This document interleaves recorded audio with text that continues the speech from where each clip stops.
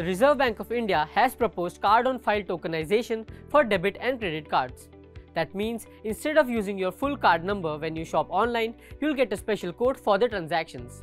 This code is unique to your card which makes it super secure. Basically, tokenization replaces sensitive data, let's say a debit card number, with a non-sensitive substitute known as a token.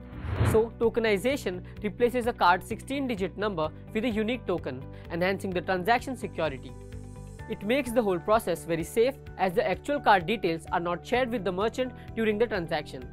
RBI initially introduced tokenization in September 2021.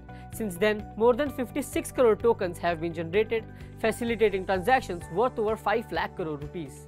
Now, as per the new proposal, the card on file tokenization would centralize token creation at the bank level. That means the tokens will be linked to the user's bank accounts, which will streamline the process and reduce frauds. See, the token masks the true details of your card. It does not contain any personal information and it keeps on changing, which makes it the most secure way to transact. So in case there is a data leak from the merchant website, the fraudster cannot misuse the card. This will also simplify token generation, enhance security and reduce card related frauds.